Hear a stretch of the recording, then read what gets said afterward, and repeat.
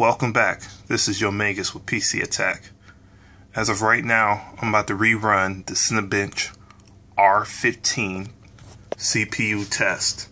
As you can see, I pretty much already have run it at stock and overclock speeds. What I'm going to do is actually rerun it and show you guys the actual performance and speed of the 5930K. And this test is pretty much going to be at stock speeds.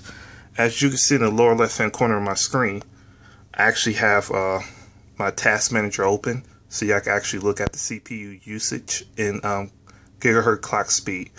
So without further further ado, let's run a test.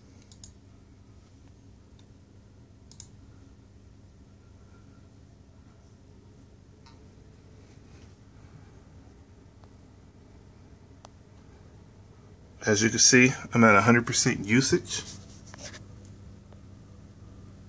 But I'm only at 3.54 gigahertz. To let you know that this is actual stock speed.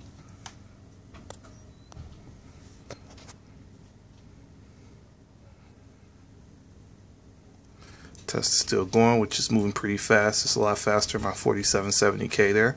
Even at stock speed, so my 4770K was overclocked to port 4.5 gigahertz.